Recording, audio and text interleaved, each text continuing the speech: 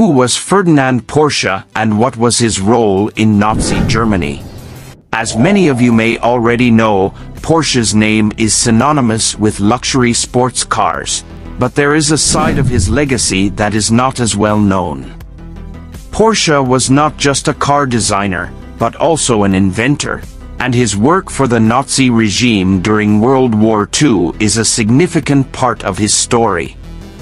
Porsche's Beetle design was selected as the winner of Hitler's People's Car competition in 1934, and after meeting Porsche in 1935, Hitler was so impressed that he even offered to name the factory producing the Volkswagen Beetle after Porsche. However, Porsche declined,